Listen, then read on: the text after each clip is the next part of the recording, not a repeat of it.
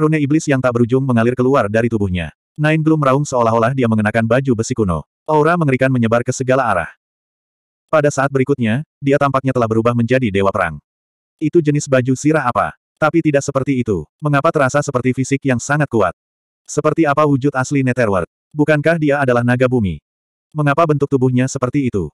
Suara diskusi terdengar. Mereka semua merasa bahwa bentuk tubuh ini sangat aneh. Ini sepertinya bukan teknik kultivasi Aula Acheron. Beberapa orang terkejut. Dalam legenda, naga bumi dapat menjelajah tanah dan telah mengunjungi banyak reruntuhan kuno. Dia memiliki banyak kartu truf di tangannya, jadi ini mungkin kekuatan super tertinggi yang dia peroleh dari reruntuhan kuno. Nak, apakah kau pikir kau bisa menang melawanku dengan kekuatanmu yang sedikit itu? Sungguh lelucon. Akan kuberitahu seberapa hebatnya aku. Aura Nine Gloom melonjak seperti lautan. Kemudian, dia mengulurkan telapak tangannya dan menamparkan ke depan. Api hitam yang tak terbatas menari-nari, menutupi langit dan menutupi bumi. Seperti telapak tangan Raja Neraka, menutupi langit dan menutupi bumi. Sembilan api kegelapan. Mengerikan sekali. Banyak orang gemetar ketika merasakan api dingin itu. Api biasanya memiliki aura yang ganas dan membakar, tetapi sembilan api kegelapan bersifat dingin. Ke mana pun ia lewat, semuanya akan membeku. Lin Xuan merasa tegang. Dia tahu bahwa pihak lain adalah seorang ahli, jadi dia tidak lengah. Sepasang sayap emas gelap muncul di punggungnya, dikelilingi oleh badai yang mengerikan. Pada saat yang sama, ada pedang ki yang mengerikan yang menembus langit. Setiap pedang ki seperti pedang dewa. Itu sungguh mengerikan. Pada saat ini, dia telah berubah menjadi Dewa Pedang. Membunuh. Dia menghadapi serangan itu dan berubah menjadi bayangan angin, menghilang seketika.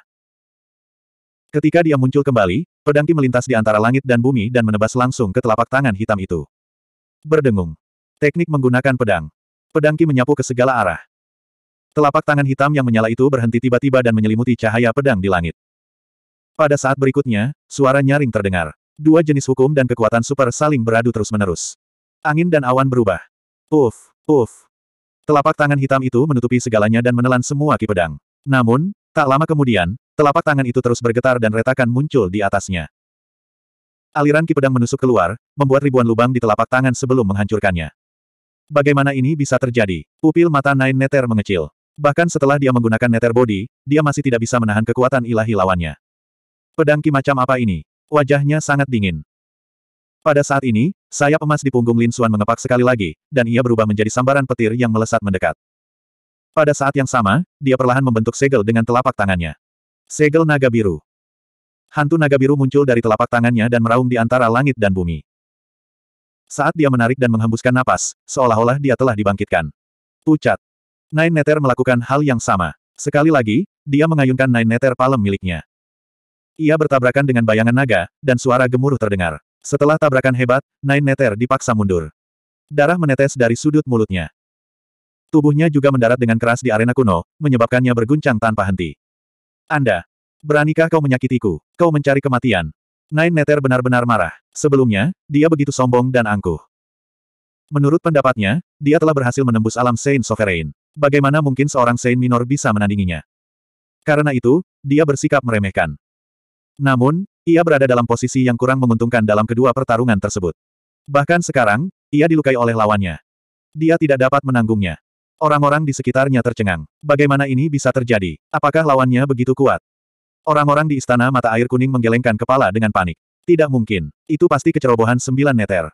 Tunggu saja dan lihat. Bocah itu pasti akan dicabik-cabik. Tombak neter.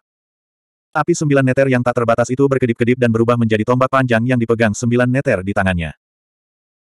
Ke mana pun tombak itu lewat, ruang di sekitarnya akan retak terus-menerus, seolah-olah telah berubah menjadi jurang neraka.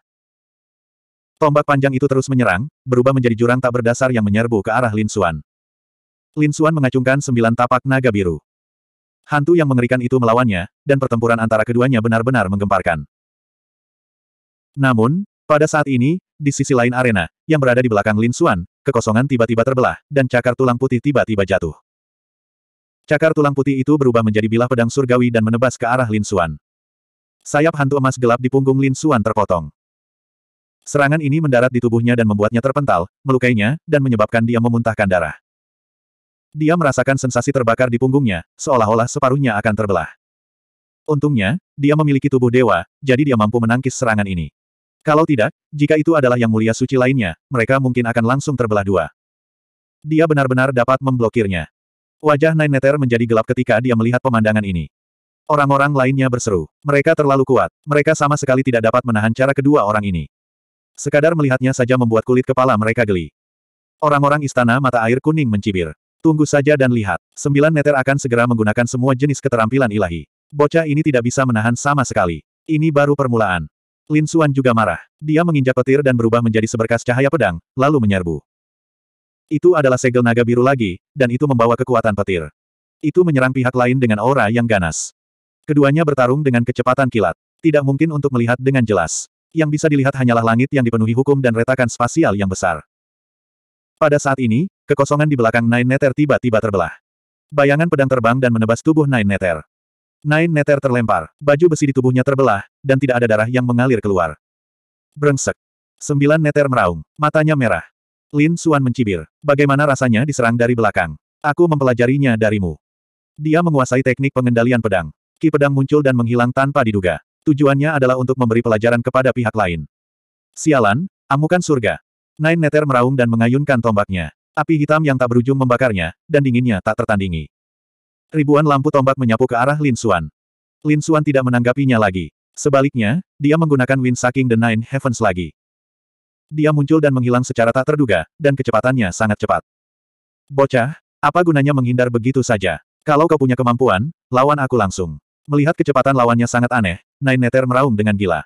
Lin Xuan mendengus dingin. Aku menghindar. Mengapa kamu tidak bilang saja kalau kamu tidak bisa menyamai kecepatanku?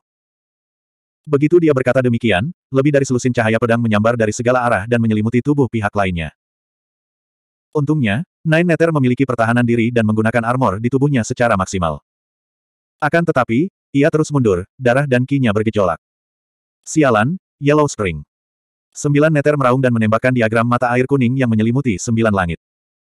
Pada saat ini, dia akan menggunakan teknik pamungkas kota suci untuk membunuh pihak lain. Mata air kuning menyembur keluar dengan aura dingin yang tak tertandingi. Ia menyebar ke segala arah. Ekspresi orang-orang di sekitar berubah. 4232. Peta Acheron tergantung, dan air Acheron yang tak berujung memenuhi langit. Ke mana pun ia lewat, kekosongan itu retak. Tak ada yang mampu menahannya. Air Acheron mengalir deras ke arah Lin Xuan dengan kecepatan yang sangat cepat. Sebagian airnya sangat korosif. Tidak peduli seberapa kuat fisik seseorang, bahkan jika seseorang memiliki baju zirah untuk bertahan melawannya. Ruang tempat arena itu berada tertutup sepenuhnya. Pada akhirnya, tidak ada tempat untuk bersembunyi. Ada air Acheron di segala arah. Dia benar-benar terkepung. Bahkan arena di lembah itu pun terkorosi. Semua orang terkejut. Air Acheron terlalu mengerikan, seperti yang diharapkan dari Nine Nether. Bahkan jika seseorang memiliki senjata suci, mereka mungkin tidak dapat menahannya. Ketika Lin Xuan melihat ini, kilatan dingin melintas di matanya. Dia berkata dengan dingin, apa kau pikir kau bisa menjebakku seperti ini? Selanjutnya, saya akan menunjukkan keahlian rahasia saya. Di telapak tangan kanannya, ada rune hitam tak berujung yang melilit tinjunya. Detik berikutnya, seluruh tinjunya berubah hitam. Tinju setan harimau. Suara rendah terdengar. Tinju itu diayunkan seolah-olah seekor harimau iblis telah bangkit kembali. Itu merobek kekosongan, dan air mineral pun langsung terkoyak. Anak tak berguna, tidak peduli seberapa kuat fisikmu, kau tidak akan mampu menahannya. Nine Nether tertawa. Namun, pupil matanya tiba-tiba mengecil. Bagaimana ini bisa terjadi? Dia menyadari bahwa tinju hitam telah merobek air Acheron. Mustahil, bagaimana tinjunya bisa menghalangi kekuatan semacam ini?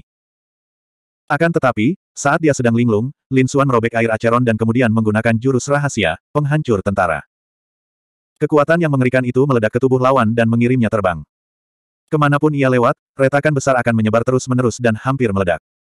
Setengah tubuhnya retak. Saat ini, wajahnya penuh dengan keterkejutan. Mustahil. Teknik tinju macam apa ini? Dia terlalu terkejut. Orang-orang dari Acheron Hall juga terkejut. Para tetua kota suci lainnya menghirup udara dingin. Akan tetapi, beberapa orang yang ikut serta dalam ujian gua surga terkesiap.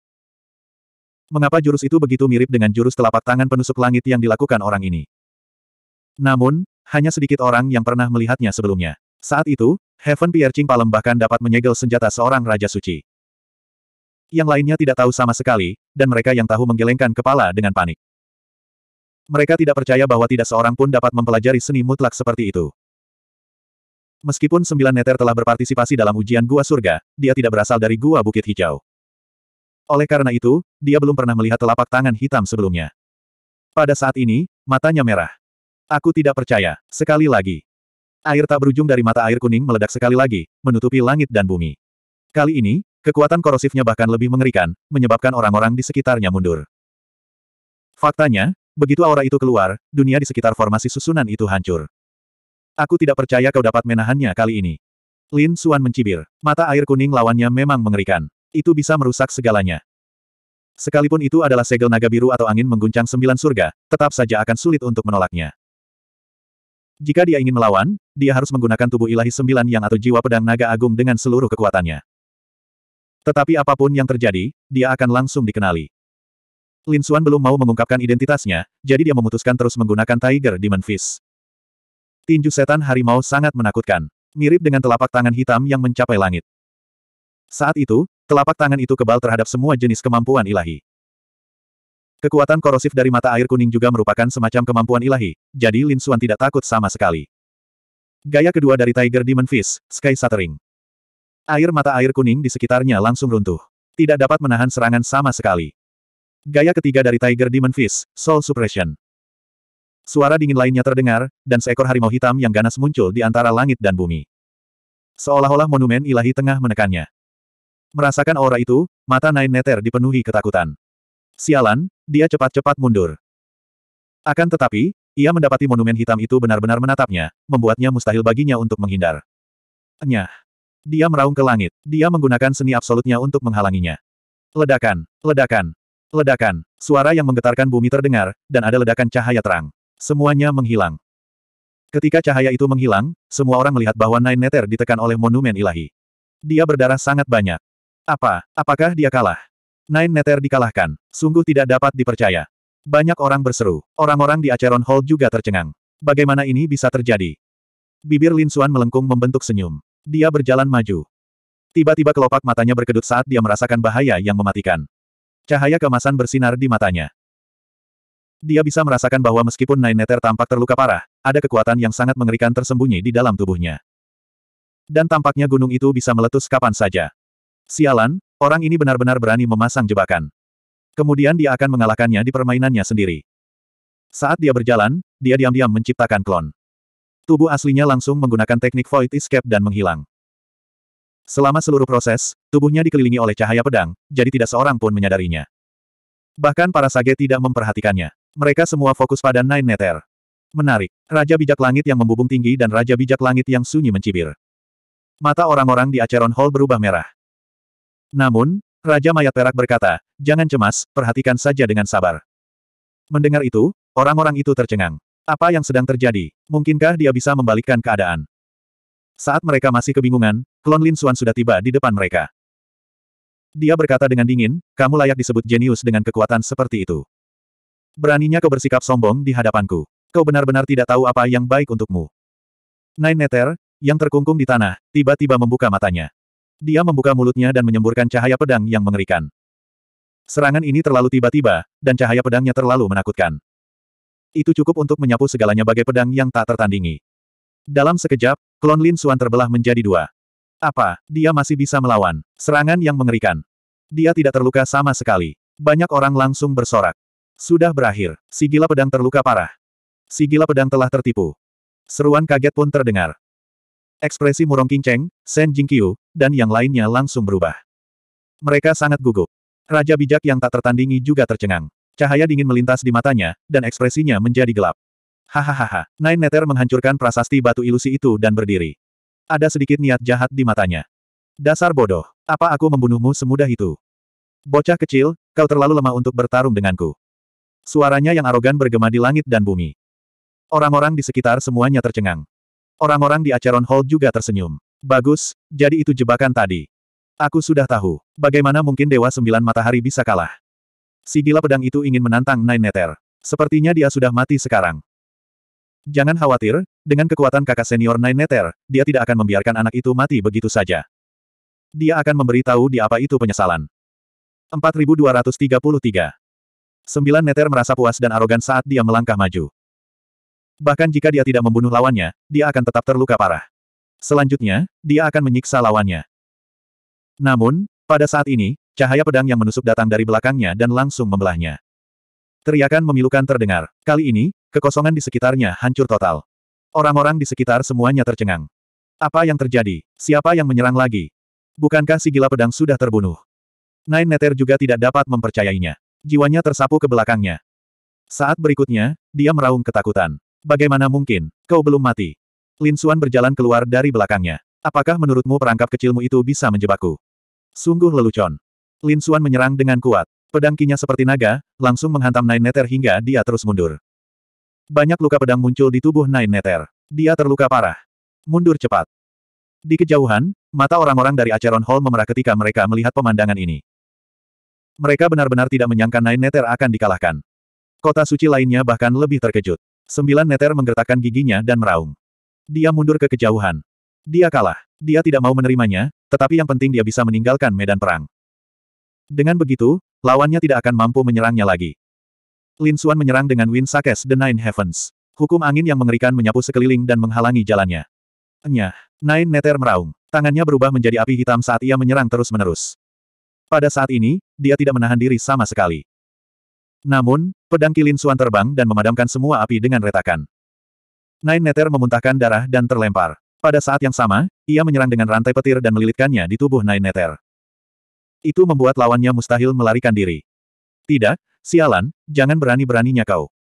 Orang-orang dari Acheron Hall di kejauhan menjadi gila. Raja Suci Silver Course membuka matanya dan berteriak dingin. Sudah cukup.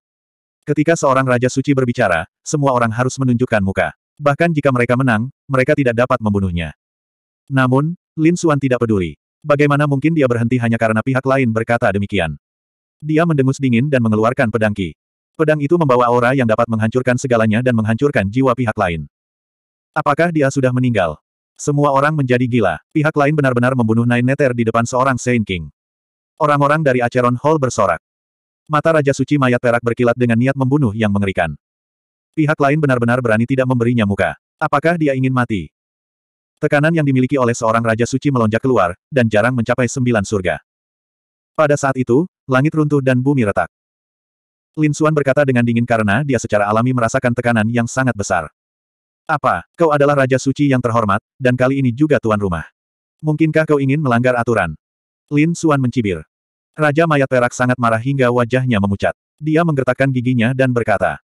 Dia mendengus dingin dan duduk dengan enggan. Dia tidak bisa menyerang, tetapi dia pasti tidak akan membiarkan pihak lain bersenang-senang. Orang-orang di sekitarnya berseru kaget. Dia terlalu sombong. Dia bahkan tidak menganggap serius seorang Saint King. Apa yang coba dilakukan bocah nakal ini? Apakah dia mencoba menentang surga? Orang terkutuk itu, aku akan pergi dan membunuhnya. Banyak orang di Yellow Springs Shop menggertakkan gigi mereka. Bahkan para pemburu di kerumunan mulai bergerak. Pria yang menyerang Shen Jingqiu sangat marah hingga dia muntah darah. Sebelumnya, dia tidak peduli dengan ancaman Lin Xuan. Namun, dia tidak menyangka bahwa Lin Xuan benar-benar akan membiarkannya menyaksikan kematian seorang jenius. Itulah kejeniusan Acheron Hall. Jika dia mati, itu akan menjadi kerugian besar. Karena itu, dia tidak bisa menahan diri untuk tidak menyerang. Namun, Lin Xuan tidak memberi kesempatan kepada orang-orang ini. Dia tidak punya niat untuk ikut bertempur. Sebaliknya, dia berdiri di sana dan menyaksikan pertempuran itu sambil tersenyum dingin. Hal ini membuat siapa pun yang ingin membunuhnya muntah darah. Merekalah yang menetapkan aturan-aturan, tetapi mereka tidak menyangka akan terjebak oleh aturan-aturan itu. Sialan, kalau dia berani membunuh kejeniusan kita, kita akan bunuh kejeniusannya. Para tetua menggertakkan gigi dan berkata, Raja Suci, ayo kita serang. Dia pasti ada hubungannya dengan kota Wushuang. Kita akan bunuh Fu Hongye dan Ling Hu Chuixue. Raja Suci Wushuang mengangguk dan para pemburu pun bergerak. Namun, pihak Fu Hongye tidak menyerang, tetapi pihak Ling Hu Chuixue dalam bahaya. Ling Hu Chuixue berusia lebih dari 2000 tahun, namun usianya baru 2300 tahun. Namun, dia sudah tiba di medan perang lain. Medan perang ini diperuntukkan bagi orang-orang berusia antara 2000 hingga 5000 tahun. Mereka semua adalah orang suci yang mulia, dan mereka semua adalah orang suci yang mulia yang sangat menakutkan. Seorang tetua yang sangat menakutkan bergerak dan menyerang Ling Hu Chuixue. Dia memegang lonceng hitam besar di tangannya dan terus menggoyangkannya. Suara lonceng itu mengguncang langit dan bumi, dan gelombang suara yang mengerikan menyapu ke segala arah. Medan perang ini tentu saja menarik perhatian banyak orang. Oh tidak, mereka menyerang kakak senior tertua. Wajah orang-orang dari kota Wushuang menjadi sangat jelek. Mereka menggertakkan gigi. Bahkan wajah Raja Suci Wushuang pun dingin. Wajah Lin Xuan menjadi gelap. Orang-orang ini melihat bahwa mereka tidak memiliki kesempatan untuk menyerangnya, jadi mereka berbalik untuk menyerang orang lain. Dia mulai mengkhawatirkan Ling Hu Cuiksue. Bagaimanapun, musuh yang dihadapi Ling Hu Cuiksue sangat kuat. Ling Hu Cuiksue menerima serangan itu dan terus mundur sambil memuntahkan darah. Cahaya yang sangat menakutkan keluar dari matanya saat dia menggunakan teknik rahasia Wushuang untuk memblokir serangan itu. Namun, lelaki tua itu hanya tersenyum sinis. Tidak ada gunanya. Pergilah ke neraka. Oh tidak, itu adalah Santo Venerat tahap akhir. Merasakan aura lelaki tua itu, ekspresi orang banyak pun berubah. Mereka mulai mengkhawatirkan Ling Hu Cuiksue. Serangan yang mengerikan. Lonceng hitam besar itu langsung menekan ke bawah. Ia ingin sepenuhnya menekan Ling Hu Cuiksue. Semua orang putus asa. Orang-orang dari Acheron Hall menampakkan senyum sinis. Namun, pada saat krisis ini, pedang di tangan Ling Hu Cuiksue meledak dengan cahaya yang tak tertandingi. Ledakan. Ledakan. Ledakan. Suara keras dan jelas terdengar, menyebar ke segala arah. Ketika cahaya itu menghilang, kerumunan itu tercengang. Mereka menemukan bahwa Ling Hu Cuiksue telah terluka. Adapun lelaki tua di seberangnya, dia terbelah dua. Bagaimana ini bisa terjadi? Apakah Ling Hu Cuiksue telah mencapai tahap akhir Saint Venerate? Mereka semua sudah gila. Raja Suci Wushuang tertawa. Bagaimana mungkin murid tertuanya bisa lemah? Brengsek. Orang-orang dari Acheron Hall mengatupkan gigi dan memberikan perintah untuk membunuh. Tubuh lelaki tua itu sembuh dan dia berdiri. Namun, dia masih meremehkan Ling Hu Cuiksue. Setelah menunjukkan kekuatan aslinya, Ling Hu Cuiksue tidak menunjukkan toleransi sedikitpun. Setiap serangannya menyebabkan langit dan bumi bergetar. Pada akhirnya, Santo Venera tahap akhir itu langsung dibunuh. Seluruh tubuh Ling Hu Cuiksue berlumuran darah. Namun, auranya tak tertandingi. Kerumunan orang tercengang. Ling Hu sudah pasti adalah seorang Saint Venerate tingkat akhir. Lebih jauh lagi, dia adalah sosok yang sangat menakutkan di antara Saint Venerate tingkat akhir. Banyak orang berteriak kaget. Apakah ini kekuatan murid tertua Peerless City? Dia terlalu kuat. Orang-orang dari kota suci lainnya juga menjadi sangat serius. Di medan perang kedua, kekuatan yang ditunjukkan Ling Hu di kelompok usianya benar-benar membuat semua orang tercengang. Mereka merasa situasinya telah memburuk. Mereka telah meremehkan kekuatan Ling Hu Cuiksue. Kemungkinan besar, seluruh medan perang akan berubah. 4234 Seperti yang diduga, Ling Hu Cuiksue tidak berhenti di situ. Sebaliknya, dia terus membunuh. Dia membunuh banyak penguasa suci yang kuat dan Acheron Hall mengalami kerugian besar. Tiga penguasa suci tewas di tangannya. Begitu pula, istana besar terpencil dan kota iblis juga kehilangan dua penguasa suci. Untuk sesaat, semua orang tercengang. Rekor pertempuran Ling Hu Cuiksue meledak sekali lagi. Dia awalnya berada di posisi ke-50 di medan perang kedua, tetapi sekarang dia berada di posisi ke-30. Apalagi peringkatnya masih naik. Dia juga telah menembus 100 kemenangan beruntun. Apakah orang ini mencoba masuk ke dalam 10 besar? Orang-orang di sekitarnya menjadi gila. Perlu diketahui bahwa sebagian besar orang di medan perang ini berasal dari generasi tua. Lagi pula, beberapa di antaranya berusia 4 hingga 5 ribu tahun. Mereka yang berusia 2 hingga 3 ribu tahun adalah murid-murid terbaik. Namun, tidak peduli seberapa kuat mereka, mereka tidak akan mampu melawan para tetua itu. Namun, Ling Hu Cuiksue tampaknya telah melanggar aturan ini. Ketika Raja Bijak yang tak tertandingi melihat ini, dia tersenyum. Murid-murid kota Peerless bersorak kegirangan. Hebat, kakak senior memang hebat. Lin Xuan tertawa saat melihat ini. Beberapa orang benar-benar tidak tahu apa yang baik untuk mereka. Dia memandang Acheron Hall dengan ekspresi sombong. Warga Acheron Hall menjadi gila. Pada saat yang sama, penduduk kota iblis dan mansion besar terpencil memuntahkan darah. Mereka hanya bisa bersaing dan mencari peluang. Pada saat ini, Peerless City kembali menjadi pusat perhatian. Lin Xuan juga mencari kesempatan. Namun, tubuhnya tiba-tiba bergetar dan wajahnya berubah.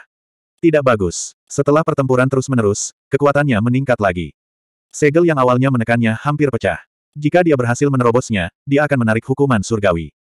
Itu mungkin merupakan serangan yang dapat menghancurkan dunia. Wajah Lin Xuan menjadi pucat. Orang-orang di sekitarnya terkejut ketika mereka melihat ini. Apa yang terjadi? Apa yang salah dengan anak ini? Apakah dia terluka? Dia pasti terlalu sombong. Bagaimana mungkin dia tidak terluka? Akan lebih baik jika dia terluka parah. Melihat penampilan Lin Xuan, tawa dingin terdengar satu demi satu. Mereka merasa hebat. Jika luka anak ini meledak, mereka akan kehilangan satu musuh yang kuat. Orang-orang di kota tanpa tanding juga terkejut. Raja Sage tanpa tanding mengerutkan kening. Dia mentransmisikan suaranya dan bertanya, adik, ada apa? Lin Xuan berkata, aku tidak bisa menahan kultivasiku lagi. Aku mungkin bisa menembus ke alam yang mulia. Raja suci yang tak tertandingi terdiam. Jika orang lain ingin menerobos ke tingkat yang mulia, mereka akan sangat gembira. Namun pihak lain masih berusaha menekannya. Kalau kabar ini tersebar, para jenius di sini mungkin akan muntah darah karena marah.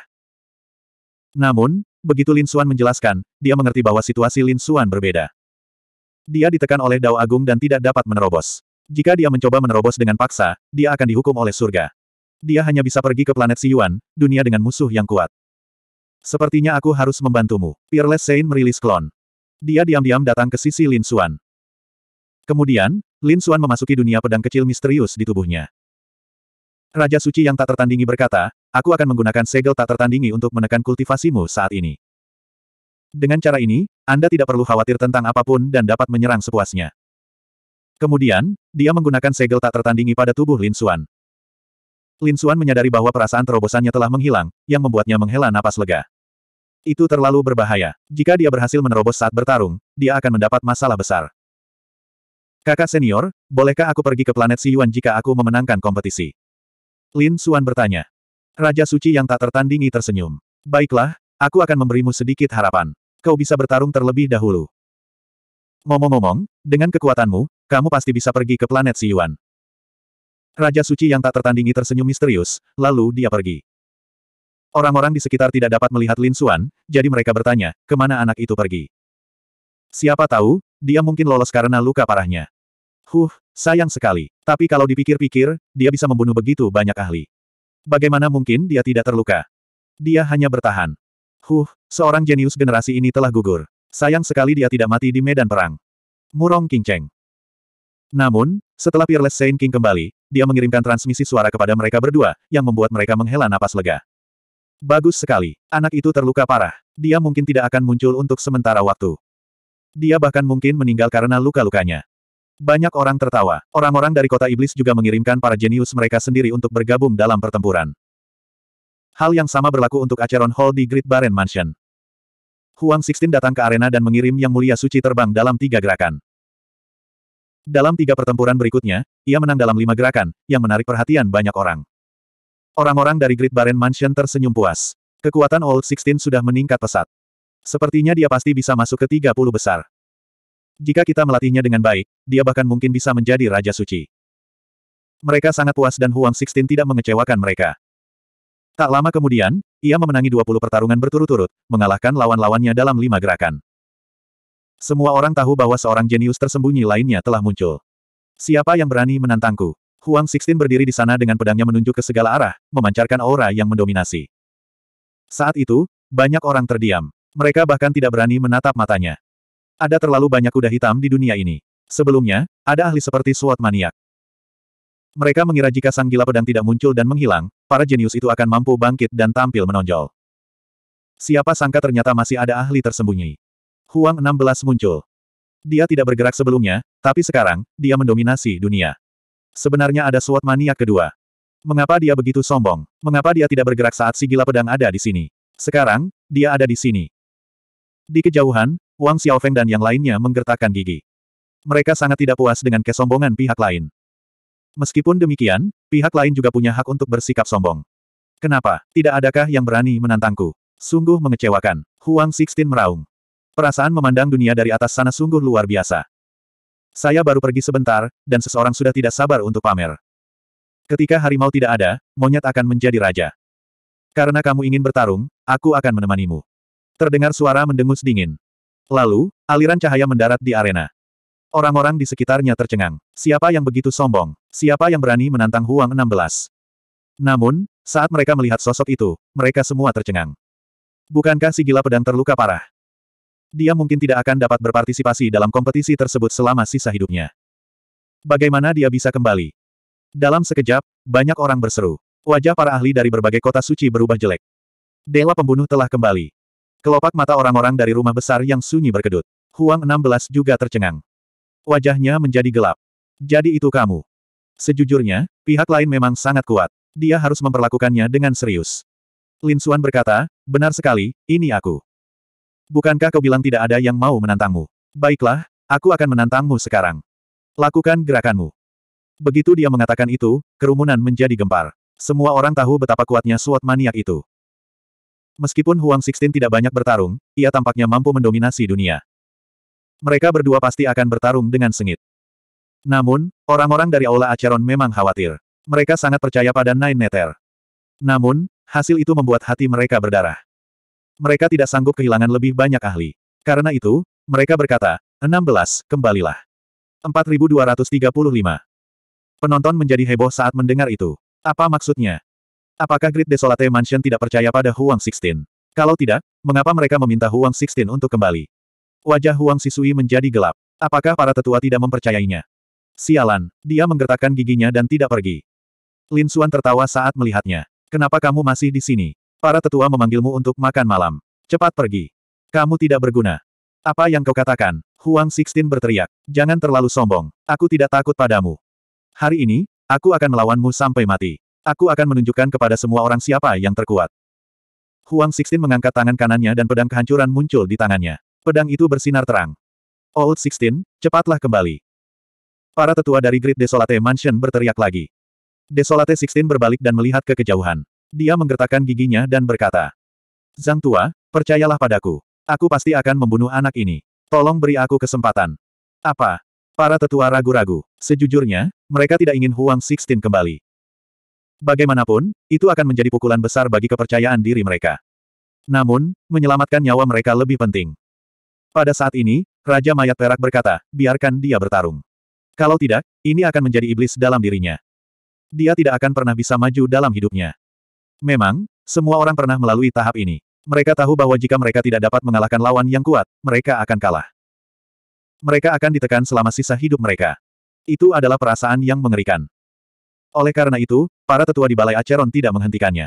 Sebaliknya, mereka berkata, hati-hati. Jangan khawatir, aku tidak akan membiarkan dia terus bersikap sombong. Huang Sixteen sangat percaya diri. Nak, dalam pertarungan sebelumnya, tak seorang pun, baik Sage Venerable maupun para ahli, mampu bertahan lebih dari lima jurus dariku membunuhmu tidak akan menjadi pengecualian. Huang Sixteen menampilkan aura mendominasi yang tak tertandingi, membuat semua orang berseru kaget. Orang-orang di Great Desolate Mansion mengangguk. Sepertinya tidak akan ada masalah. Bagaimanapun, si gila pedang ini tampaknya terluka. Mungkin dia belum pulih. Dia hanya ditekan sementara. Dengan cara ini, dia tidak akan dapat mengeluarkan kekuatan penuhnya. Huff, saat kematiannya akhirnya tiba. Tidak lebih dari lima gerakan. Di arena, Lin Xuan juga menyipitkan matanya setelah mendengar ini. Dia mengulurkan tiga jari. Jika dia tidak bisa menghabisinya dalam tiga gerakan, dia tidak akan bertarung lagi selama sisa hidupnya. Wah, makin sombong. Semua orang mengira Desolate Tertin makin sombong. Tanpa diduga, si penggemar pedang malah semakin arogan. Selesaikan pertempuran dalam tiga gerakan. Bukankah dia akan terlalu sombong? Beberapa orang mengerutkan kening. Meskipun mereka tahu bahwa Lin Xuan sangat kuat, Huang Sixteen juga merupakan ahli tingkat atas. Bisakah orang seperti itu dikalahkan dalam tiga gerakan? Ekspresi Desolate Sixteen menjadi gelap. Pihak lain malah berani memandang rendah dirinya, hal ini membuatnya sangat tidak senang. Membunuh. Dengan suara gemuruh, pedang tandus di tangannya menebas dengan aura yang mengerikan. Ia menebas ke arah Lin Xuan. Lin Xuan pun tidak membuang waktu, berkata bahwa dia akan membunuh lawannya dalam tiga gerakan. Dia tidak akan berhati lembut. Dengan raungan marah, dia mengerahkan segenap tenaganya. Jurus pertama dari Tiger Demon Fist, Army Destroyer. Sebuah tinju hitam melesat keluar, mengarah langsung ke pedang tandus. Kekuatan mengerikan itu menghancurkan Desolate Sword, dan aura mengerikan menyapu ke arah Desolate Sixteen. Ledakan. Ekspresi Desolate Sixteen berubah drastis. Dia tidak menyangka Lin Xuan begitu kuat. Dia segera mundur, tetapi dalam sekejap, separuh tubuhnya diselimuti oleh kekuatan itu dan berubah menjadi kabut berdarah. Apa? Lin Xuan melukainya dengan satu pukulan. Orang-orang di sekitarnya menjadi gila. Mengapa si pecinta pedang ini tampak lebih mengerikan dari sebelumnya? Wajah orang-orang dari Great Desolate Mansion berubah jelek. Mungkinkah? Apakah mereka membuat keputusan yang salah lagi? Mereka ingin berteriak agar Desolate Sixteen kembali, tetapi sudah terlambat. Setelah jurus pertama Lin Xuan berhasil, jurus kedua Tiger Demon Fist muncul lagi. Brengsek. Merasakan bahwa teknik tinju Lin Xuan telah berubah lagi, Desolate Sixteen meraung, dan sebuah pagoda keluar dari tubuhnya, memancarkan aura yang sunyi. Pada saat yang sama, dia melontarkan dua perisai ke depannya. Dia tidak percaya bahwa dia tidak bisa menangkisnya. Ini semua adalah senjata yang sangat mengerikan. Pertahanan mereka sangat kuat. Namun, pada gerakan kedua, semuanya hancur berantakan. Tidak ada yang bisa menghentikannya. Tubuh Desolate Sixteen juga retak akibat runtuhnya surga, berubah menjadi kabut berdarah. Ah! Desolate Sixteen mengangkat kepalanya dan meraung, suaranya dipenuhi ketakutan tak berujung. Dia berubah menjadi sinar cahaya berdarah dan terbang ke kejauhan. Kesombongan yang dimilikinya sebelumnya telah hilang. Membunuh musuh dalam lima gerakan. Dia menyingkirkan semua pikiran itu dari benaknya. Dia ingin melarikan diri karena dia menyadari bahwa Lin Xuan terlalu kuat. Dia bukan tandingan Lin Xuan. Desolate Sixteen benar-benar telah melarikan diri. Semua penonton tercengang. Para ahli dari kota suci juga terkejut. Orang-orang dari Great Desolate Mansion juga gugup. Namun, Desolate Sixteen sangat tegas. Dia melarikan diri saat dia tidak bisa menang. Ini masih memberi mereka harapan. Tidakkah kau pikir sudah terlambat bagimu untuk lari? Jurus ketiga dari Tiger Demon Fist, Soul Suppression. Lin Xuan meraung dan mengeluarkan kekuatannya secara maksimal. Terdengar suara siulan. Peristiwa itu menggemparkan langit dan bumi. Dalam sekejap, bayangan hitam seekor harimau ganas turun dari langit, menekan Desolate Sixteen yang melarikan diri. Desolate Sixteen jatuh ke arena dan memuntahkan seteguk darah. Dia tidak melarikan diri. Banyak orang berseru. Orang-orang dari Acheron Hall juga memiliki ekspresi jelek. Mereka merasa putus asa. Apakah keajaiban lain akan tumbang? Desolate Sixteen meraung dengan marah. Sialan, nak, lepaskan aku. Kakakku adalah Desolate Tertin, seorang ahli top dari generasi sebelumnya. Kau akan mati jika kau menyentuhku. Beraninya kau mengancamku sekarang. Aku tidak peduli siapa saudaramu. Bahkan jika leluhurmu adalah Raja Bijak, aku tidak akan membiarkanmu pergi hari ini. Lin Xuan mencibir dan menamparkan Desolate Sixteen. Wajah Desolate Sixteen langsung hancur. Dia tidak bisa berkata apa-apa. Matanya dipenuhi ketakutan. Lin Xuan tertawa. Jangan khawatir, aku tidak akan membunuhmu. Namun, aku akan melumpuhkanmu. Aku akan mengubahmu menjadi orang cacat total. Desolate Sixteen masih memiliki secerca harapan, tetapi saat dia mendengar kata-kata Lin Xuan, dia kehilangan semua harapan. Lin Xuan adalah seorang iblis. Dia ingin melarikan diri, tetapi dia tidak bisa. Pada saat berikutnya, dia merasakan energi pedang yang mengerikan mengalir ke dalam tubuhnya, langsung menghancurkan fondasinya. Pada saat yang sama, jiwanya terluka parah dan menjadi sangat lemah. Sudah berakhir, kultivasi dan kekuatan yang telah ia kembangkan dengan susah payah selama lebih dari seribu tahun telah lumpuh saat ini. Dia menjadi lumpuh. Ini lebih buruk daripada membunuhnya. Minggirlah kau, sampah. Aku tidak ingin membunuhmu. Lin Xuan menendang Desolate Sixteen menjauh. Tubuh Desolate Sixteen melayang ke kejauhan seperti layang-layang yang putus. Dia mendarat di hadapan para tetua Great Desolate Mansion. Para tetua dari Great Desolate Mansion menggertakkan gigi mereka. Mereka maju untuk memeriksa Desolate Sixteen dan mendapati bahwa dia telah menjadi lumpuh. Sungguh gerakan yang mengerikan. Orang-orang di sekitarnya tercengang. Lin Xuan akan bertarung sampai mati dengan Great Desolate Mansion. Mata Raja Mayat Perak bersinar dengan cahaya yang menakutkan saat dia menatap Lin Xuan. Tidak ada seorang pun yang berani memprovokasi mereka seperti ini. Lin Xuan sedang mencari kematian. Namun, Lin Xuan tidak peduli. Saat para raja bijak ini ingin membunuhnya, mereka tidak menyangka hal ini akan terjadi. Dia mendengus dingin. Pada saat yang sama, terdengar suara gemuruh dari medan perang kedua. Lalu, suatu sosok yang tampak seperti setan terbang mendekat. Dia memandang rendah dunia. Siapa yang berani melumpuhkan saudaraku? 4236. Sebuah suara dingin bergema di udara, membuat bulu kuduk semua orang merinding. Semua orang mengangkat kepala dan berseru kaget. Huang Sisan.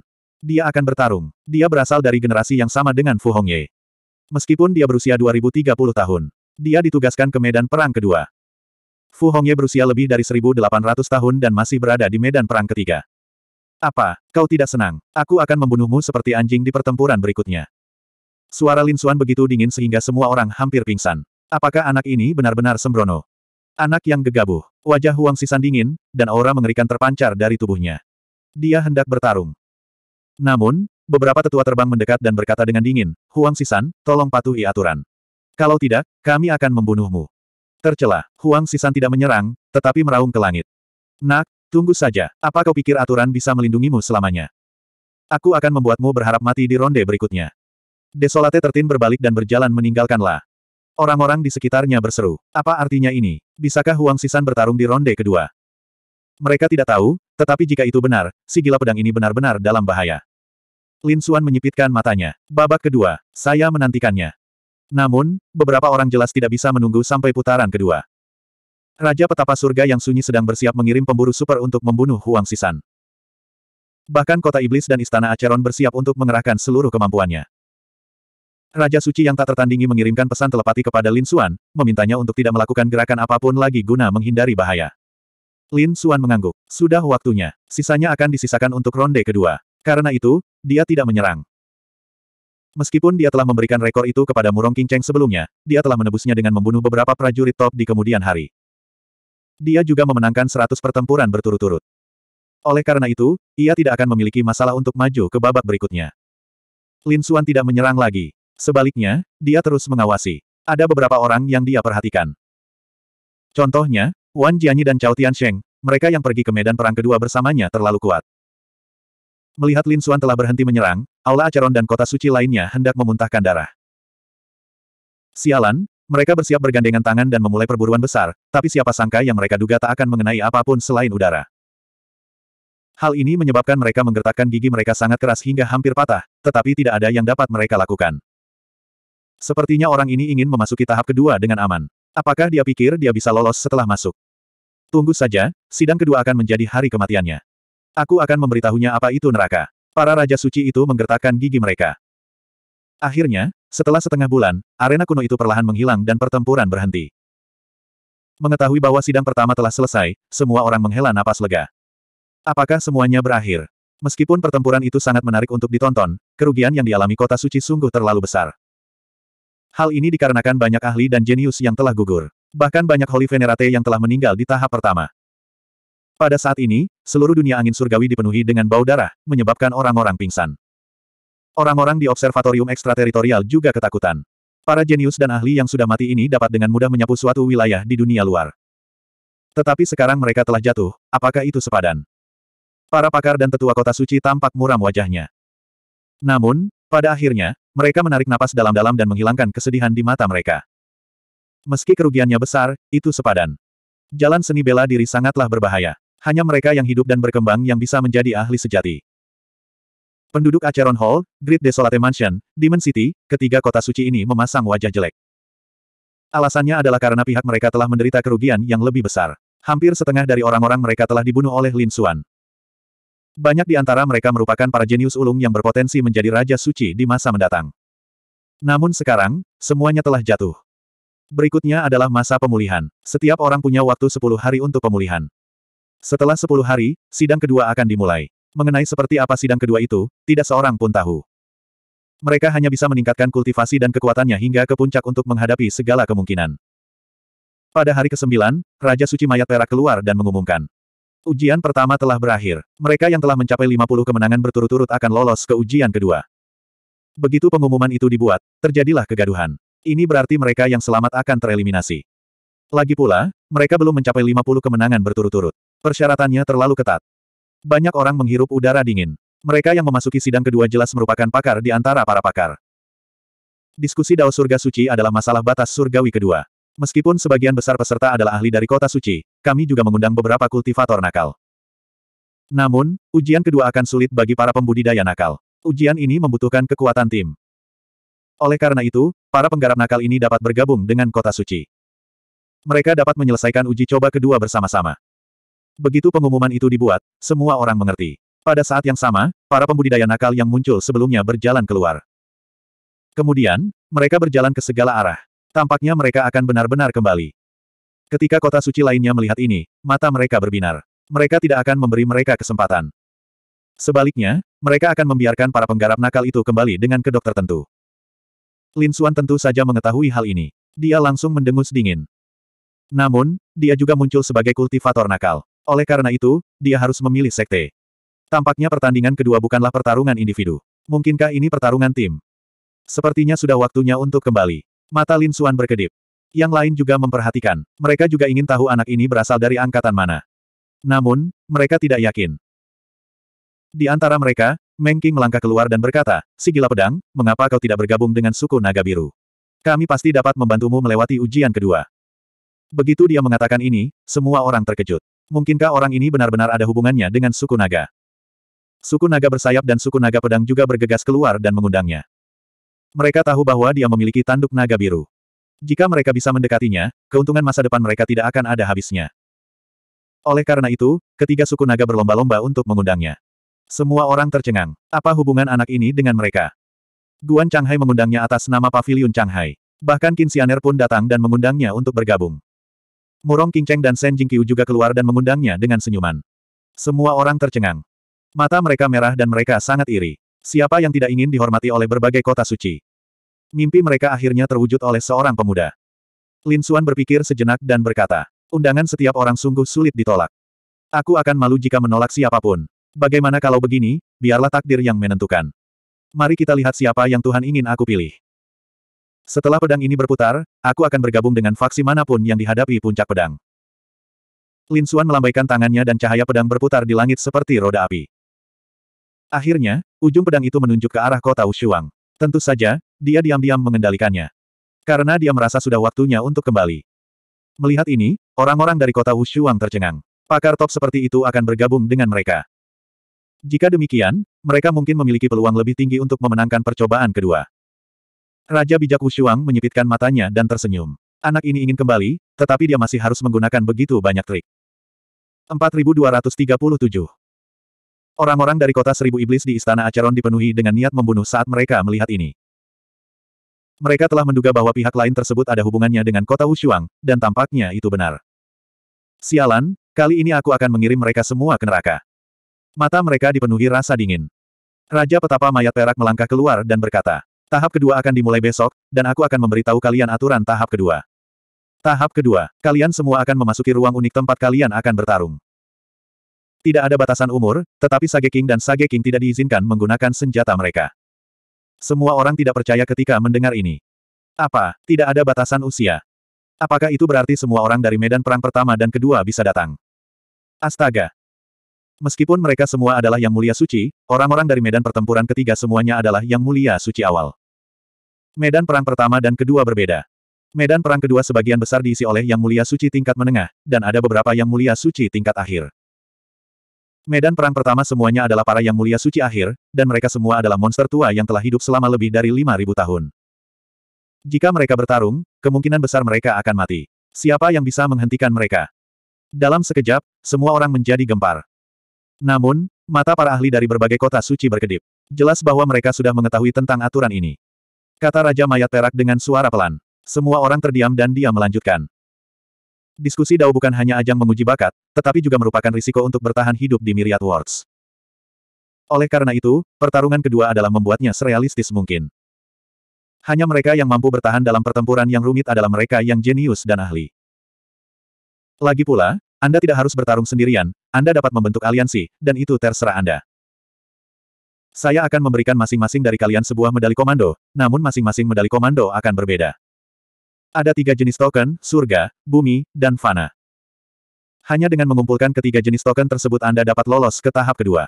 Anda memiliki waktu satu bulan di tahap kedua. Semua orang tercengang. Mereka tidak hanya harus bertahan hidup, tetapi mereka juga harus mengumpulkan ketiga jenis token tersebut. Ada juga batasan waktu satu bulan. Ya Tuhan, ini tugas yang mustahil. Lin Xuan juga tercengang. Dia bertanya, ada apa dengan kakak senior? Jika demikian halnya, akan sangat sedikit orang yang dapat lolos tahap kedua. Sang Raja Suci yang tak tertandingi mendesah dan menyampaikan suaranya. Ini bukan pertama kalinya hal ini terjadi. Awalnya, mereka tidak menyangka banyak orang akan lolos di babak kedua. Dia tidak berencana membiarkan terlalu banyak orang lewat. Lin Xuan terkejut. Apa yang terjadi? Mungkinkah ini ada hubungannya dengan pergi ke planet Yuan? Apa pun yang terjadi, dia harus lulus. Kota suci lainnya juga menanyakan hal ini. Namun, setelah mengetahuinya, orang-orang ini menjadi tenang. Dia takut persidangan kedua akan lebih brutal daripada yang pertama. Baiklah, begitu Anda memasuki tahap kedua, Anda tidak akan punya kesempatan untuk mengakui kekalahan, jadi belum terlambat untuk mundur sekarang. Terdengar suara dingin. Namun, tatapan para peserta itu tegas. Meskipun mereka tahu bahwa jalan di depan berbahaya, lalu kenapa? Mereka telah menghadapi begitu banyak bahaya di sepanjang jalan. Tidak mudah baginya untuk sampai sejauh ini, jadi bagaimana dia bisa menyerah? Selama masih ada secercah harapan, mereka harus berjuang keras, jadi tidak ada yang menyerah. Bagus sekali. Raja Saint Silver Course tersenyum saat melihat ini. Dia akan beristirahat untuk hari berikutnya. Besok, saat matahari terbit, itu akan dimulai. Semua orang kembali dan berkumpul bersama untuk membahas tindakan pencegahan untuk tahap kedua. Lagi pula, babak kedua bukanlah pertarungan individu. Melainkan pertarungan kelompok, jadi pembagiannya sangat penting. Kebanyakan kota suci harus memilih beberapa orang jenius, yang berarti bahwa meskipun mereka mendapat token, mereka akan memberikannya kepada para jenius tersebut terlebih dahulu. Mereka harus memastikan para jenius itu muncul dengan sukses. Kota tanpa tanding juga sedang mendiskusikan masalah ini. Lin Xuan terkejut saat mengetahui bahwa kota tanpa tanding tidak mengirim terlalu banyak orang kali ini. Totalnya hanya sekitar selusin orang. Meskipun jumlah penduduknya cukup banyak, dibandingkan dengan kota suci lainnya, jumlahnya jauh lebih kecil. Itu karena kota suci lainnya hanya memiliki beberapa lusin penduduk. Perbedaan jumlahnya dua hingga tiga kali lipat. Namun, Raja Suci yang tak tertandingi tidak peduli. Dia sangat percaya diri. Lin Xuan juga menemukan bahwa para peserta kali ini semuanya adalah murid langsung, yang berarti bahwa mereka dilatih oleh Raja Suci yang tak tertandingi. Totalnya ada tujuh orang. Selain itu, Ada juga Lin Xuan dan Shen Jingqiu, jadi totalnya ada sembilan orang. Ada pula dua orang mulia suci tingkat lanjut, sehingga jumlah keseluruhannya adalah sebelas orang. Meski jumlahnya sedikit, Raja Suci yang tak tertandingi sangat percaya diri. Kota suci lainnya juga cepat membuat persiapan. Malam berlalu dengan cepat. Saat matahari terbit keesokan harinya, semua orang menarik napas dalam-dalam. Mereka semua berdiri dan para Raja Suci juga berjalan keluar. Mayat perak Raja Suci berdiri di atas sembilan surga. Dia berkata, buka saja. Para Raja Suci ini membentuk segel dan menekan kekosongan. Seluruh kekosongan mengeluarkan suara gemuruh yang keras. Tak lama kemudian, muncullah hantu kuno. Hantu itu tak terkalahkan, seolah-olah dia adalah Raja Abadi. Dia memegang sebuah cermin di tangannya. Cermin itu digambar dalam bentuk pusaran air. Raja Suci Mayat Perak berkata dengan dingin. Masuklah. Itu adalah lokasi tahap kedua. Setelah itu, orang-orang dari Acheron Hall mengambil alih dan bergegas masuk. 47 orang dari Acheron Hall masuk, dan masing-masing dari mereka sangat kuat. Setelah mereka masuk, mereka pergi ke kota iblis. Kota Dewa Petir, rumah hancur besar, dan kota suci lainnya semuanya dimasuki. Raja Suci yang tak tertandingi menarik napas dalam-dalam dan berkata, kalian juga pergi. Dengan dua tokoh generasi tua yang memimpin, Lin Xuan dan yang lainnya juga melayang ke langit dan berjalan masuk.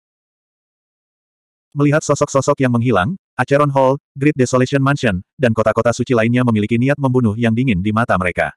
Kali ini, mereka tidak akan kembali.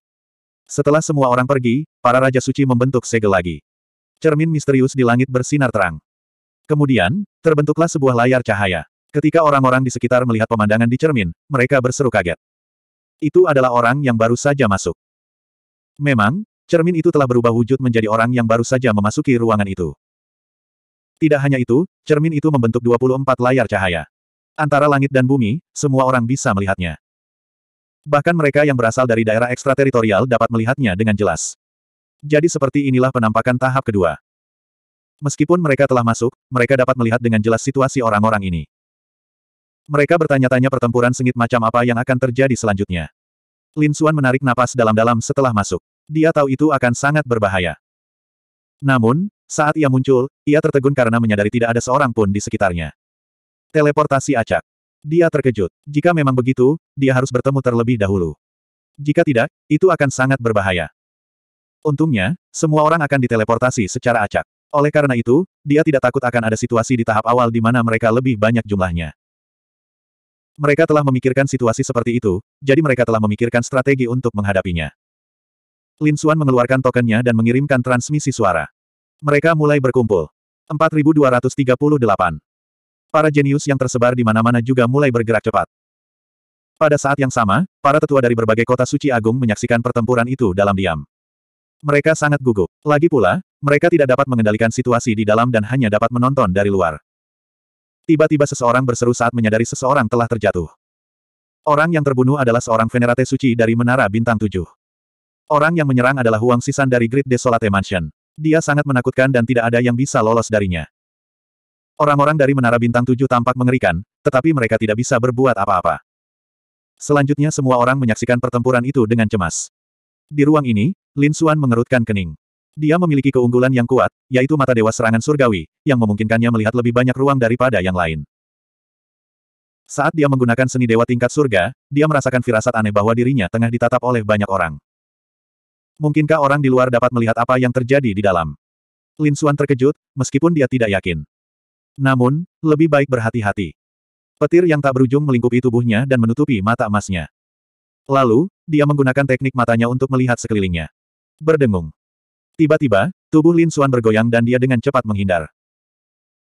Di tempat di awalnya berdiri, sebuah retakan yang sangat mengerikan muncul, menghancurkan segalanya. Itu adalah sinar cahaya yang lebih menyilaukan dari matahari. Untungnya, Lin Xuan bereaksi cepat dan menghindarinya. Orang yang menyerang dalam kegelapan juga terkejut. Dia dapat menghindarinya. Namun, ketika Lin Xuan berbalik dan orang itu melihat wajah Lin Xuan, dia tersenyum pahit. Itu kamu, si gila pedang.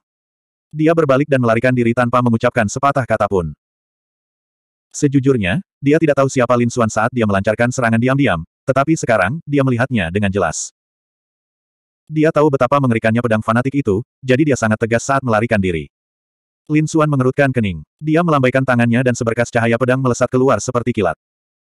Hal itu membuat orang tersebut terlempar dan menyebabkan dia muntah darah. Jangan bunuh aku. Aku tidak tahu kalau itu kamu.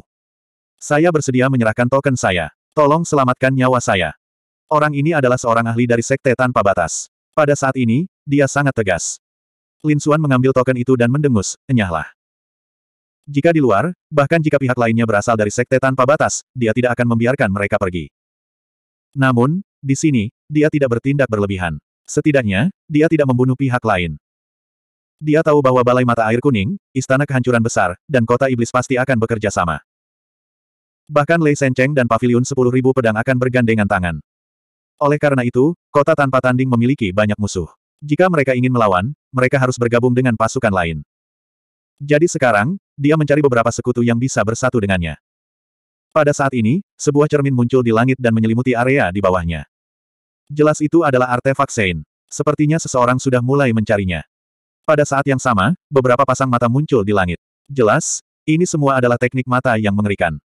Lin Xuan mengandalkan mata ilahi rahasia surgawinya untuk bergerak cepat. Dia telah mengalahkan beberapa orang. Dia juga telah memperoleh cukup banyak token, tetapi dia masih belum berhasil mengumpulkan semuanya. Lagi pula, setiap orang memiliki token yang berbeda dan akan ada banyak tumpang tindih.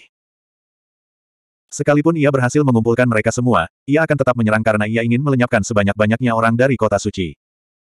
Ketika para ahli di luar melihat pemandangan ini, mereka terkejut. Si gila pedang ini bergerak sangat cepat. Iya, dia sudah memperoleh enam token. Mengapa saya merasa dia bisa langsung menemukan lokasi musuh? Mungkinkah dia juga memiliki teknik mata yang kuat? Orang-orang ini bingung. Bahkan Raja Bijak pun mengerutkan kening. Mereka tampaknya ingin melihat melalui layar cahaya. Namun, Lin Xuan memiliki lapisan pertahanan petir di tubuhnya. Selain itu, mereka tidak dapat ikut campur dalam situasi di dalam ruangan. Jadi, mereka hanya dapat menonton. Selanjutnya, para jenius lainnya mulai menyerang dengan cepat dan memperoleh lebih banyak token. Beberapa dari mereka terbunuh, sementara yang lain hanya kehilangan token dan tidak mati. Oleh karena itu, mereka hanya perlu merebut kembali token tersebut dalam waktu satu bulan. Oleh karena itu, mereka menjadi semakin gila. Untuk sesaat, segala macam pertempuran terjadi. Tiba-tiba, cermin kuno di langit menurunkan pandangannya dan menyelimuti Lin Xuan. Pada saat yang sama, hukum yang tak terhitung jumlahnya tersebar di area tersebut, membentuk segel. Pada saat yang sama, senyum dingin muncul di bibir beberapa orang di kejauhan. Ketemunya. Mereka adalah orang-orang dari kota iblis. Pada saat ini, tiga sosok bergegas mendekat. Apakah kamu akan menyerangku? Lin Suan mencibir. Dia melayangkan pukulan ke segel itu, menyebabkannya bergetar tak henti-hentinya. Pada saat yang sama, ketiga monster besar yang bergegas datang dari jauh juga mengubah ekspresi mereka. Tidak bagus, percepat saja. Dia tampak melawan. Sepasang sayap muncul di belakang salah satu dari mereka dan membungkus mereka berdua. Sayapnya bergerak lembut dan langsung menembus kekosongan. Kecepatannya meningkat secara eksponensial. Orang lainnya terbungkus sayap. Telapak tangannya terus-menerus membentuk segel, menyebabkan cermin di langit terus-menerus memantulkan cahaya. Kekuatan yang tak tertandingi meletus dari cermin, menyebabkan dunia terus bertabrakan satu sama lain. Begitu hebatnya hingga beberapa orang di sekitar pun merasakannya. Wajah mereka menjadi pucat dan mereka segera mundur. Seseorang sedang menyerang. Serangan yang mengerikan. Seruan pun terdengar. Pada saat yang sama, orang-orang yang menonton dari luar tentu saja memperhatikan hal ini. Pendekar pedang itu menjadi sasaran, dan pertempuran besar akan segera terjadi. Mereka sangat gugup. Dan di luar angkasa. Bibir Lin Xuan melengkung membentuk senyum menghina. Pedang ki di tubuhnya terbakar, membuatnya tampak seperti dewa pedang. Dengan pedang dia membelah segel itu. Namun, Lin Xuan tidak pergi. Sebaliknya, dia menunggu. Orang-orang ini ingin membunuhnya. Dia ada di sini untuk mengirim orang-orang ini ke neraka. Ketiga orang bijak iblis itu sangat cepat dan tiba dalam sekejap. Melihat Lin Xuan telah merusak segel dan tidak melarikan diri, mereka bertiga tercengang. Kemudian, wajah mereka menjadi gelap. Nak, beraninya kau menunggu di sini. Kau benar-benar tidak sabaran. Baiklah, aku akan mengantarmu turun hari ini. Kekuatan yang menggemparkan bumi meletus dari mereka bertiga, dan cahaya hukum melesat ke langit. Seolah-olah ketiga gunung berapi itu telah dihidupkan kembali. Lin Xuan juga tidak banyak bicara. Dia segera melepaskan Tiger Demon All Out dan menyerang ke depan. Kapal perusak angkatan darat. Penghancur langit. Penekan jiwa. Ketiga serangan itu terjadi satu demi satu. Di antara langit dan bumi, terdengar suara auman harimau. Aumannya sangat menakutkan. Ketiga Demon Sage tentu tahu betapa kuatnya itu. Mereka meraung dan menyerang bersama. Mereka bertiga menggunakan keterampilan unik mereka yang mengerikan. Di antara mereka, yang memiliki sayap surga yang menyelimuti di punggungnya mengubah sayapnya menjadi dua bilah surgawi, yang memancarkan cahaya yang menakutkan. Orang lain mengendalikan cermin dan menggunakan serangan jiwa. Orang terakhir mengeluarkan raungan saat dia meninju dengan tinju yang mengerikan, menyebabkan dunia di sekitarnya runtuh. 4239 Orang-orang di luar berseru ketika mereka melihat pemandangan ini. Si gila pedang seharusnya tidak dapat menghalanginya kali ini, kan? Ledakan. Ledakan. Ledakan. Tiga kekuatan ilahi bertabrakan dengan Tiger Demon Fist. Sinar cahaya meledak, dan hukum yang mengerikan mengejutkan dunia. Kemudian, ketiga kekuatan dewa itu terkoyak, dan ketiga penguasa binatang pun terpental. Para penonton di luar menghirup udara dingin, memperlihatkan ekspresi sangat terkejut. Si gila pedang terlalu kuat, kan? Tiga penguasa binatang di luar angkasa juga memiliki ekspresi jelek di wajah mereka. Pihak lain mampu melawan mereka, dan ketiganya mampu melukai mereka. Cahaya dingin keluar dari mata mereka, dan mereka menyerang dengan sekuat tenaga. Dengan raungan, garis keturunan mereka diaktifkan sepenuhnya. Sayap-sayap surga yang menyelimuti yang mengerikan berkibar di antara langit dan bumi. Cermin kuno itu terus membesar dan membesar, bagaikan gunung yang turun, menyebabkan langit dan bumi hancur. Penguasa binatang terakhir bahkan mengayunkan tinjunya, menghancurkan kehampaan. Ia memiliki kekuatan untuk memusnahkan ribuan pasukan. Ini adalah tiga jurus pamungkas, tetapi semuanya dapat dengan mudah dipatahkan oleh Lin Xuan. Tubuh ketiganya terbelah, berubah menjadi hujan yang berhamburan antara langit dan bumi. Kekuatan Lin Xuan jauh melampaui ekspektasi ketiganya. Ketiganya mungkin tidak menduganya bahkan saat mereka sekarat. Serangan yang dibentuk mereka bertiga dipatahkan dengan mudahnya. Mereka sungguh lemah.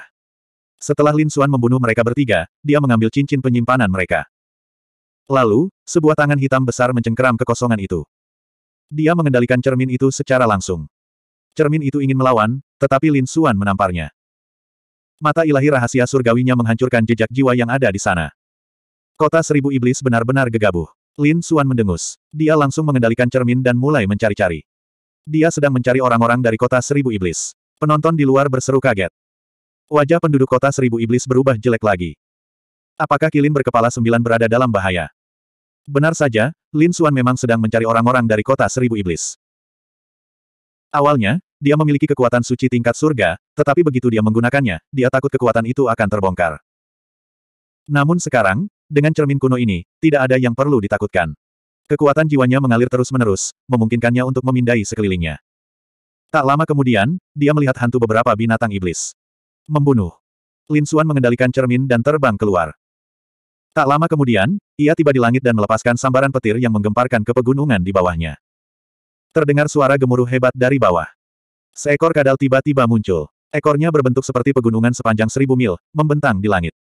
Namun, itu dengan mudah ditembus oleh Lin Xuan. Setelah tiga gerakan, kadal raksasa itu hancur berkeping-keping. Setelah merebut token dan cincin penyimpanan, Lin Xuan melanjutkan perjalanannya. Kemudian, dia menyerang dengan ganas dan membunuh lima binatang iblis yang mengerikan. Akhirnya, dia bertemu dengan seseorang. Ketika dia melihat orang ini, senyum muncul di wajahnya. Kilin berkepala sembilan. Ekspresi Kilin berkepala sembilan sangat jelek. Hanya ada dua orang di sampingnya. Secara logika, dengan statusnya, mustahil baginya untuk memiliki pengawal yang begitu sedikit. Namun, bagaimanapun juga, itu adalah teleportasi acak. Setelah dia tiba, dia tidak punya waktu untuk mengumpulkan yang lain. Namun sekarang, dia ditemukan oleh Lin Xuan. Hal ini membuatnya merasa seperti sedang menghadapi musuh besar. Ketika Kilin berkepala sembilan melihat Lin Xuan, wajahnya berubah menjadi hijau. Dia berbalik dan melarikan diri. Lin Xuan melepaskan sambaran petir, yang berubah menjadi lautan petir dan menyegel seluruh ruang. Pada saat berikutnya, dia melangkah maju. Kenapa, kau ingin pergi secepat ini setelah melihatku? Di mana kesombonganmu sebelumnya? Anak nakal sialan, kalau kau berani berbuat apa-apa, matilah kau. Para ahli kota iblis sudah dekat. Kilin berkepala sembilan menggertakkan giginya dan meraung. Di luar, orang-orang di kota iblis juga tercengang ketika mereka melihat pemandangan ini. Raja bijak langit yang menjulang tinggi pun berdiri, matanya dipenuhi dengan niat membunuh. Aura mengerikan mengguncang sembilan langit dan sepuluh daratan. Semua orang gemetar. Suaranya yang dingin terdengar. Si gila pedang, matilah kau. Wajah orang-orang dari tiga suku naga menjadi gelap. Raja bijak yang tak tertandingi bahkan mencibir. Mengapa kalian tidak bisa tetap tenang? Jika kamu begitu takut pada kematian, mengapa membiarkannya masuk? Lagi pula, tidak ada gunanya kau berteriak di sini. Masuklah jika kau berani. Brengsek, Raja bijak langit yang menjulang tinggi hendak memuntahkan darah. Dia tidak bisa mengendalikan ruang ini, jadi wajar saja dia tidak bisa masuk. Terlebih lagi, ada begitu banyak Raja Sage. Jika dia melanggar aturan, dia akan diserang oleh mereka. Dia duduk dengan dingin dan menggertakkan giginya. Jika sesuatu terjadi pada kilin berkepala sembilan, dia akan mati. Si gila pedang pasti akan mati. Siapa pun yang berani melindunginya akan melawan kota iblis. Aku pasti akan menghancurkan jiwanya. Suara dingin itu membuat semua orang tahu bahwa kota iblis benar-benar marah kali ini. Aku jadi penasaran, apa yang akan terjadi pada kilin berkepala sembilan. Beranikah si gila pedang ini bergerak? Di angkasa, Lin Xuan menatap kilin berkepala sembilan dan tertawa. Kamu masih berani mengancamku. Sepertinya kamu tidak tahu apa yang baik untukmu. Pergilah, kalian berdua, bunuh dia. Kilin berkepala sembilan meraung. Di sampingnya ada dua Demon Sage. Yang satu bersinar seperti matahari, sedangkan yang lainnya dingin seperti iblis. Keduanya adalah penjaga yang kuat. Mengaum. Yang di sebelah kiri adalah burung pipit yang menyala-nyala. Ia membuka mulutnya dan menyemburkan api suci yang membakar sembilan langit. Yang di sebelah kanan memuntahkan awan-awan iblis yang mengerikan yang menutupi langit dan matahari. Awan itu membawa aura dingin. Ketika mereka berdua menyerang, itu benar-benar mengerikan. Namun, sangat disayangkan mereka bertemu Lin Xuan. Lin Xuan tidak peduli sama sekali. Dia melambaikan tangannya dan tinju setan harimau dan segel naga biru meletus lagi. Naga itu meraung dan harimau itu meraung. Langit runtuh dan bumi retak. Langit yang penuh dengan api suci dan awan iblis yang mengerikan semuanya hancur. Keduanya pun berseru. Tidak bagus, Tuan Muda Kesembilan. Dia terlalu kuat, sebaiknya kita segera melarikan diri. Ekspresi Kilin berkepala sembilan menjadi sangat jelek. Bisakah kita melarikan diri? Seperti yang diduga, petir terus bermunculan di sekitar Lin Xuan, begitu pula pedang Qi yang menakutkan. Pedang Qi memotong segalanya. Kalian bertiga tidak perlu menyerah. Jika kalian berlutut dengan patuh, aku dapat mempertimbangkan untuk membiarkan mayat kalian tetap utuh. Kilin berkepala sembilan menggertakkan giginya. Dia tahu bahwa kota iblis telah menargetkannya sebelumnya. Pihak lain pasti tidak akan menunjukkan belas kasihan. Oleh karena itu, dia berkata, kalian berdua, tunggu sebentar. Aku akan menggunakan teknik rahasia. Dia menggertakkan giginya dan ilusi ular surgawi berkepala sembilan dan kilin muncul di tubuhnya. Pada saat yang sama, dia meludahkan seekor anjing laut yang besar. Ada seekor kilin yang melingkari segel itu. Sungguh mengerikan. Mungkinkah itu harta karun yang ditinggalkan oleh ras kilin yang legendaris? Ketika para penonton melihat ini, mereka berseru. Mereka tidak menyangka kilin berkepala sembilan memiliki kartu truf seperti itu. Ketika kedua orang bijak iblis melihat ini, mereka pun menarik napas dalam-dalam. Itulah satu-satunya cara. Oleh karena itu, mata mereka memerah. Mereka mengerahkan seluruh kemampuan mereka. Hukum di tubuh mereka meletus dan mereka mengeluarkan raungan yang menakutkan. Mereka berdua menggunakan teknik rahasia mereka dan bergegas lagi. Huff. Lin Xuan mendengus dingin. Hukum angin dan petir mengembun di tangannya, membentuk sabit besar yang tidak bisa dihancurkan. Ketika sabit itu menebas, ia menghancurkan segalanya. Tak lama kemudian, teriakan pun terdengar. Kedua dimensage itu bahkan tidak dapat menghalangi satu gerakan pun. Mereka dibunuh secara langsung. Jiwa mereka ingin berlari, tetapi mereka langsung diselimuti oleh dua bola api kemasan. Mereka terbakar dengan cepat. Ah! Ceritan menyedihkan itu membuat kulit kepala menjadi mati rasa. Kilin berkepala sembilan tercengang. Mereka bahkan tidak bisa menghalangi satu gerakan pun. Dia menggertakkan giginya dan memuntahkan darah, mengotori segel kilin. Segel kilin memancarkan cahaya yang tak tertandingi, dan suara gemuruh yang mengerikan terdengar darinya. Seolah-olah seekor kilin telah bangkit dan melesat menuju langit. Dengan suara keras, dia merusak segel itu. 4240. Besar. Naga berkepala sembilan sangat gembira saat melihat ini. Ia berubah menjadi aliran cahaya dan mencoba pergi dengan segel kilin. Namun, pada saat ini, sebuah telapak tangan hitam besar menamparkan dan membungkusnya. Brengsek. Naga berkepala sembilan meraung dan meniup segel kilin saat ia menerjang maju. Ia ingin melawan pihak lainnya. Kilin menyerbu ke awan dan ingin mencabik-cabik telapak tangan hitam itu. Ledakan. Keduanya bertabrakan dan hukum yang mengerikan menyapu ke segala arah. Retakan besar yang tak terhitung jumlahnya menyebar dengan cepat.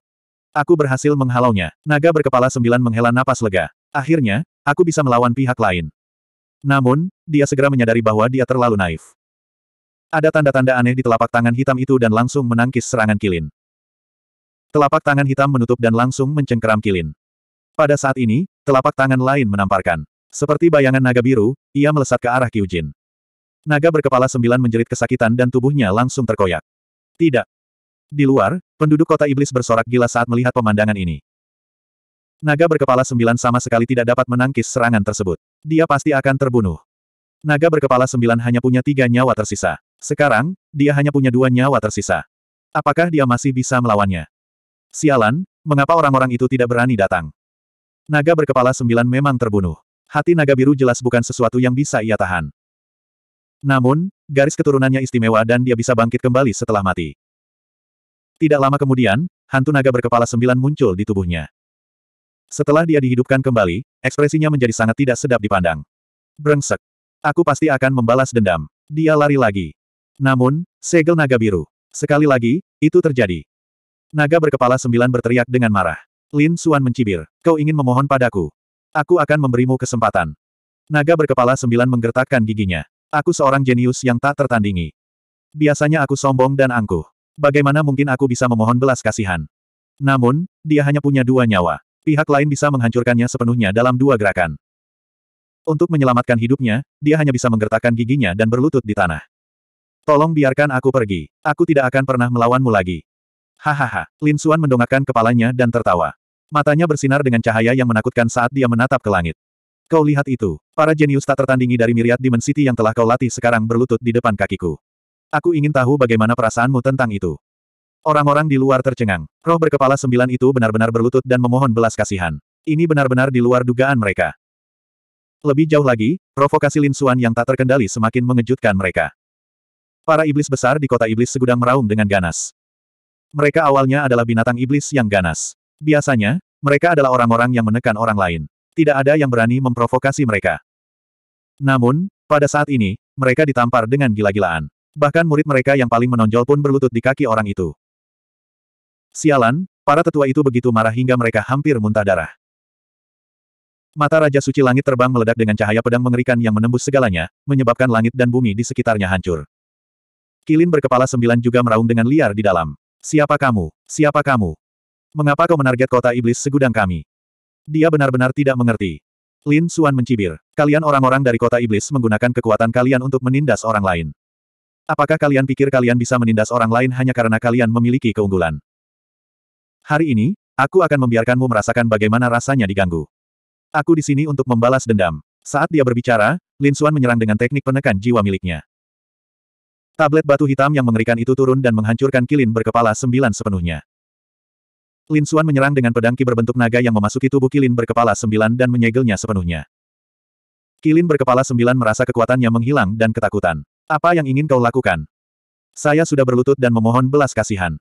Lin Xuan mencibir. Jangan khawatir, aku tidak akan membunuhmu sekarang. Karena kamu masih berguna, aku akan memberimu hadiah besar. Dengan lambaian tangannya, dia menahan kilin berkepala sembilan. Para penonton di luar tercengang. Pihak lain tidak segera bertindak. Ini sungguh mengejutkan. Tetapi setelah dipikir-pikir, mereka tahu bahwa kilin berkepala sembilan mungkin sedang merasakan hal yang lebih buruk daripada kematian saat ini. Mereka tidak tahu apa yang direncanakan pihak lainnya. Adapun orang-orang di kota Myriad Demon, mereka berdiskusi dengan sungguh-sungguh. Pihak lain datang ke sini untuk membalas dendam. Siapakah orang ini? Mereka telah menyinggung banyak orang karena kesombongan mereka. Tapi kenapa? Seharusnya tidak ada seorang pun yang bisa melawan mereka. Wajah Raja Dewa Langit yang melonjak juga gelap. Dia sedang memikirkan siapa orang ini. Tiba-tiba, dia teringat seseorang. Namun, dia segera menggelengkan kepalanya. Mustahil, anak itu diracuni oleh diagram mata air kuning. Dia seharusnya tidak hidup lagi. Dan meskipun dia masih hidup, dia seharusnya tidak sekuat itu. Karena itu, dia tidak tahu siapa orang ini. Lin Xuan pergi setelah menekan kilin berkepala sembilan. Dia tidak membunuh pihak lain. Karena dia akan menggunakan kilin berkepala sembilan untuk mengancam kota iblis segudang. Siapa tahu, mungkin berguna. Namun, untuk saat ini, ia harus bertemu dengan warga Peerless City. Dia terus mengaktifkan cermin kuno di atas kepalanya untuk mencari. Di tempat lain, orang lain juga melakukan hal yang sama. Mereka mencari pihak lain dan memperebutkan token. Di pegunungan yang luas, empat garis petir menyambar dan berubah menjadi empat sosok. Mereka adalah empat ahli Lei Sen Cheng. Pada saat ini, mereka sedang menatap sosok di dekat air terjun di hadapan mereka, dan sudut mulut mereka melengkung membentuk senyuman. Ada seseorang di sana, dan dia sendirian. Mereka langsung menyerbu dan bertarung ke empat penjuru, mengepung orang itu sepenuhnya. Melihat penampilan pihak lain, mereka seharusnya berasal dari kota tanpa tanding. Senyum dingin muncul di wajah mereka. Ada permusuhan antara mereka dan kota tanpa tanding. Jadi, apakah mereka melihat orang-orang dari kota tanpa tanding? Berlututlah di kaki kami dengan patuh dan terimalah keputusan kami. Kami dapat meninggalkanmu dengan mayat yang utuh. Di depan mereka, seorang pemuda sedang duduk di atas batu di bawah air terjun. Ia sedang memancing sambil memegang pancing di tangannya. Sambil menatap keempat sosok itu, dia mengangkat kepalanya dan mengerutkan kening. Warga kota Leisen, kalian membuat ikan saya takut. Enyahlah. Jika tidak, mati. Suara dingin bergema di antara langit dan bumi. Keempat Lei Sen Cheng tercengang. Kemudian, mereka mencibir dengan jijik. Apa yang dikatakan pemuda ini? Suruh kami enyahlah. Dan dia bilang dia ingin kita mati. Hahaha, siapa dia menurutnya? Jika Anda Fu Hongye atau Ling Hu Cuiksue, kami akan segera pergi. Tapi kamu tidak. Beraninya kamu bersikap begitu sombong di depan kami. Sepertinya Anda bosan hidup. Beberapa orang memang selalu ceroboh. Pemuda itu berdiri.